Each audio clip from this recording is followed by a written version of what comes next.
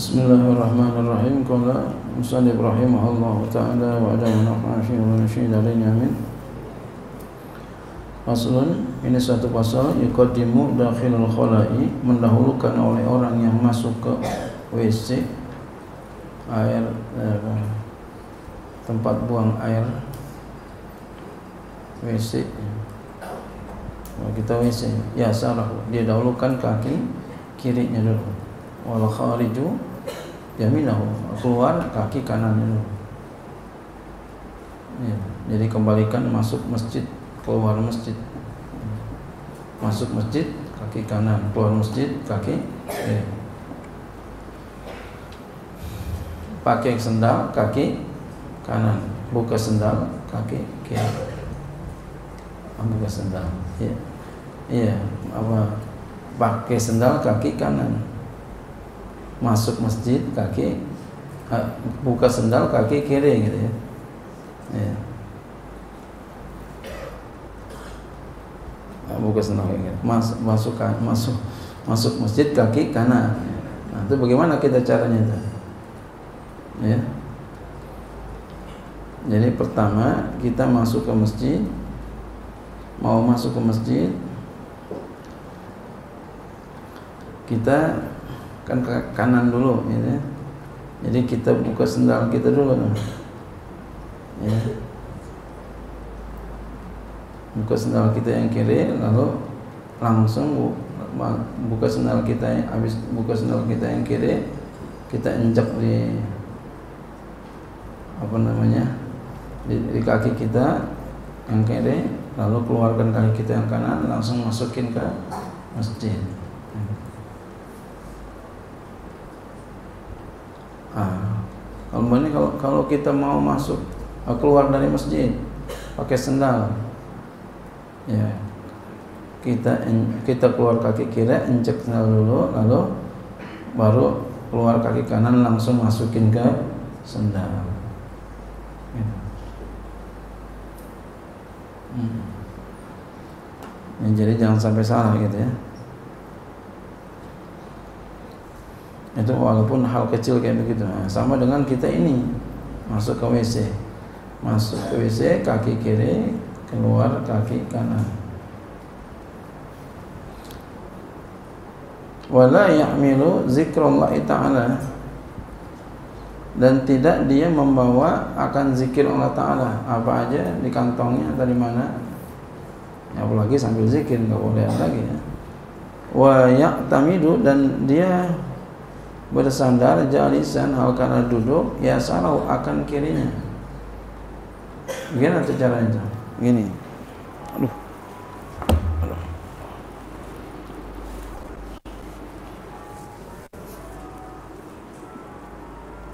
Gini jadi yang bersandar kaki kiri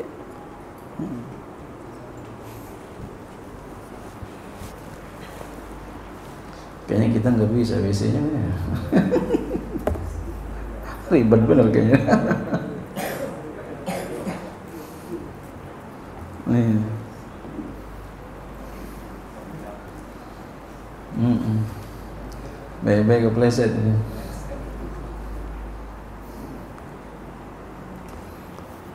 Wa yastaqbilu kiblata dan menghadap kiblat tidak menghadap kiblat. Wala yasdayu kiblat tidak menghadap kiblat. Ya. Lagi buang air. Wala yastadbiruha dan tidak dia membelakangi kiblat. Lagi buang air besar ya. Buang air kecil juga sama. Wayak rumani keduanya haram menghadap kiblat membelakangi kiblat. Bisahra'i di tanah lapang. Haram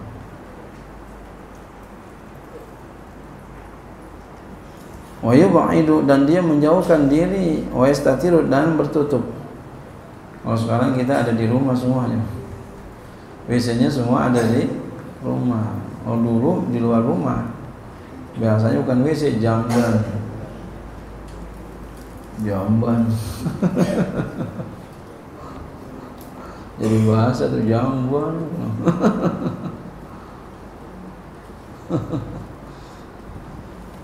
Oh sekarang kita ya dekat rumah di dalam rumah kita. Bahkan di kamar itu. Ya. Hmm, tapi bersih ya. Ya mau ada zamannya mau gimana? Ya nggak apa-apa. Wala yabulu tidak dia kencing fi ma'in raqidin di air yang tenang. Di air yang tenang dikobakan tenang jangan. Ya. Di WC kan ada airnya tuh begitu tuh di WC nggak apa-apa itu memang tempatnya. Wa hujrin di batu. Jangan kenapa? Ntar mancret. Kencing di situ bancret wa ma'abirin tempat berhembusnya air jangan beradu. Ya ntar kena. Wa mutahad ya. sama di ubin juga tuh kan kita di ubin tuh pandai-pandai itu. Ubin sambil diri oh, udah banceretan udah. Ya. nah, kalau nongkrong kagak. Ya. mutahaddasin di tempat orang ngobrol jangan. Ini mah dulu ya sekarang sekarang kagak ya. Ada tempatnya sekarang. Wa di jalanan jangan. Wa tata musmiratin di bawah pohon yang berbuah jangan walaupun lagi nggak berbuah. Wala yatakallamu dan tidak dia itu berbicara. Jangan ngobrol. Lagi pipis ngobrol lagi eh, ngobrol jangan. Wala yastanji bima in fi majil fi dan tidak dia beristinja di dengan air di majelisnya maksudnya apa? Di tempat buang airnya. Jadi jangan istinja di situ. Ya, jadi ceboknya keluar wa yastabri'u minal bauli dan dia beristibra daripada kencing. Ya istibra bisa dengan dehem. Dehemnya dehem perut.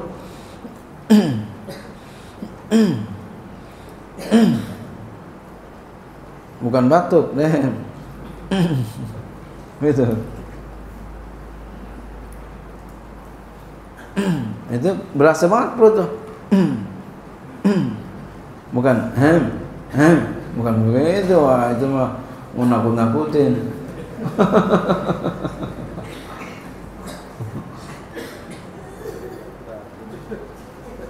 apa?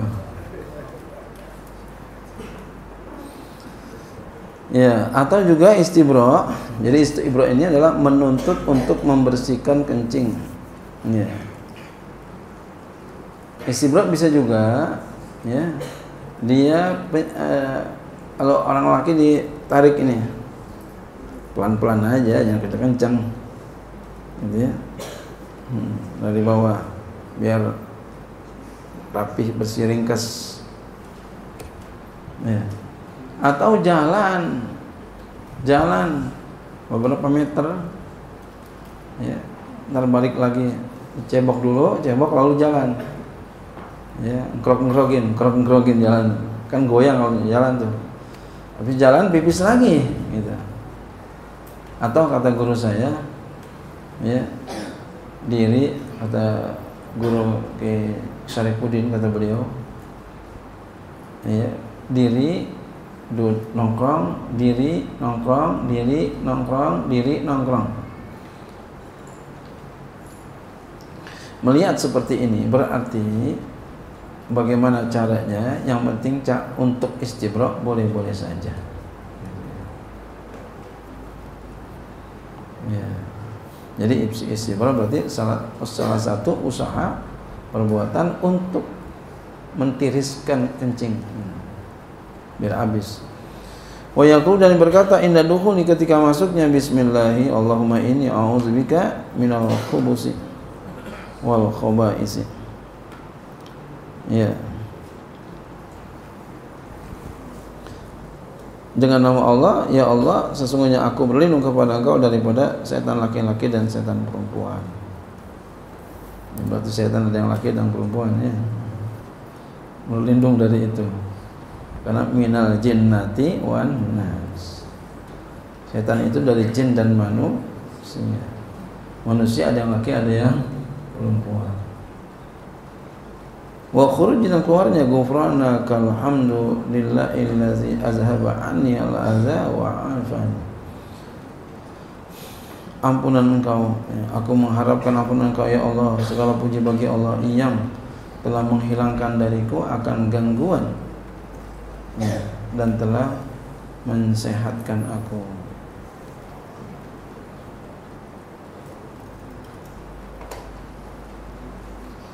Jadi anil alza menghilangkan aku dari gangguan.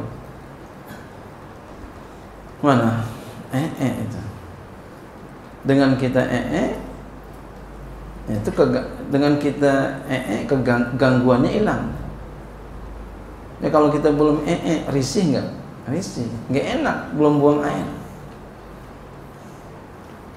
Ya. apalagi nggak buang-buang kembungannya perut. Enak nggak Enggak enak. Nah, keluarnya. Wa afani dan Allah yang maha yang telah menyehatkan aku. Berarti dengan keluar ee -e adalah sehat.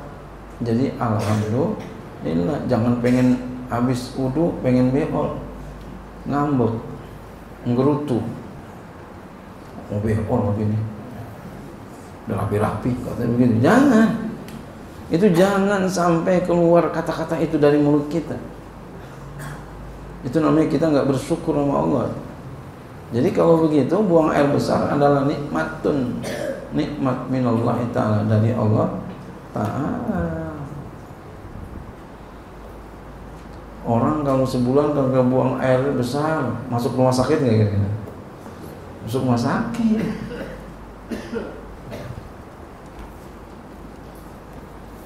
yeah wajibu dan wajib al istinja'u istinja bimain dengan air. Au hajarin atau dengan batu. Wajam uhuma abdal mengumpulkan keduanya lebih abdal jadi pakai batu dulu baru air. Itu paling bagus. Wa fi al hajari dan pada makna hajar pada makna batu kullu jamidin. Setiap yang beku apa aja. Walaupun bukan batu kayu boleh. Tapi ya bebe juga. Jangan yang tajam-tajam tajam mau kebeler berarti tohirin yang suci koliin yang menarik goiri muhtaramin tidak dihormatkan. Apa yang dihormatkan? Tulang. Itu tulang itu dihormatkan. Kenapa? Karena tulang makanan jin. Iya. Tulang makanan jin. Pernah nggak lihat tulang bersih banget? Pernah nggak? Pernah ya. Itu dimakan jin bersih dia wa jildin tubiqa duna ghairi fil azhari dan kulit yang disamak ya, ya tidak lainnya pada kaul azhar. Wa syartul hajari syarat batu adalah Allah yajib an najasu atau najisu. Tidak kering najisnya itu. Jadi kalau kering nggak boleh cebok pakai batu. Wala yang takila nggak boleh berpindah-pindah itu najisnya wala yatro tidak datang oleh oleh sesuatu yang lain. Kebancretan yang lain nggak boleh. Walau nadar sekalipun jarang.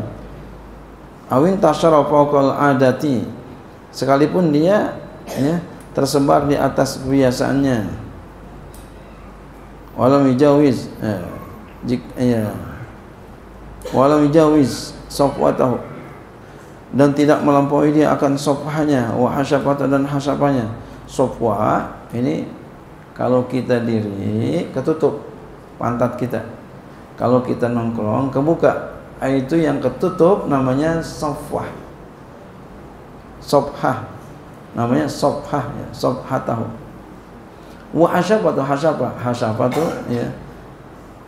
Helmnya punya laki-laki. Helmnya. Biar gampang lah ngomongnya Jazal hajaru fil azari. Nah, boleh pakai batu pada kaul azhar. Cebok pakai batu. Jadi ada syarat-syaratnya ya. Ya, nggak boleh udah kering, nggak boleh belepetan. Bahasa kita belepetan tuh nggak pindah-pindah. Nggak boleh datang sesuatu yang lain. Air nggak boleh. Ya, sekalipun jarang nggak boleh. Jadi mesti pulen buang air maksudnya pulen tek tek.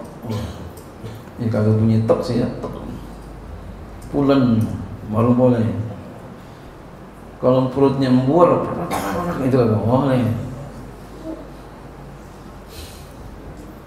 Habis dah tuh ya. Itu nggak boleh begitu. Iya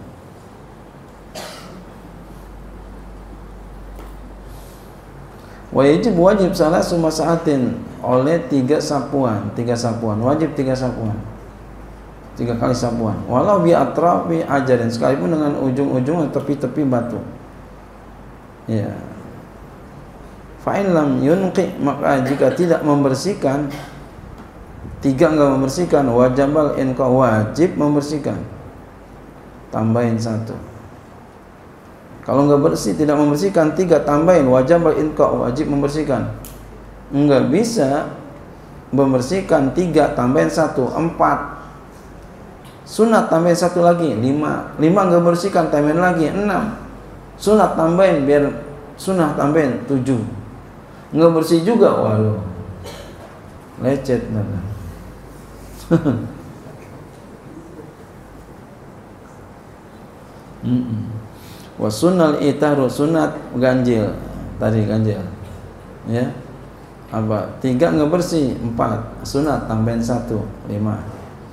Belum bersih juga ya tambahin enam. Sunat tambahin satu tujuh. Gitu. terus nih wa kullu hajarin setiap batu likulli mahalihi ya bagi setiap bagi, itu bagi tiap-tiap tempatnya. Ya setiap batu itu bagi tiap-tiap tempatnya. Jadi ada batu ya masing-masing itu. Ada tiga boleh juga batunya satu. Ya boleh juga batunya satu tapi punya masing-masing tempatnya. Apa di umpama batu kayak gini satu. Di sini di sini di sini. Yang penting jangan kepegang aja bekasannya. Kan ribet banget kalau kepegang. Hmm. Wakila dikatakan yuwazzakna lijanibai dibagi-bagi ya untuk ya, dua sisinya wawasati dan tengahnya. Jadi pintar-pintar lah.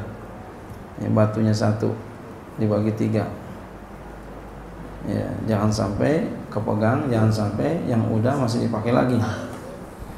Wa yusannu bi yasari disunahkan dengan kirinya sebelah kiri. Wala istinja lidudin tidak boleh istinja ya karena keluar cacing. Ya bila lausin fil azari ya, dan buang air tanpa ya kotoran. Buang air tanpa kotoran yang enggak menurut kaul azhar. Allahu a'lam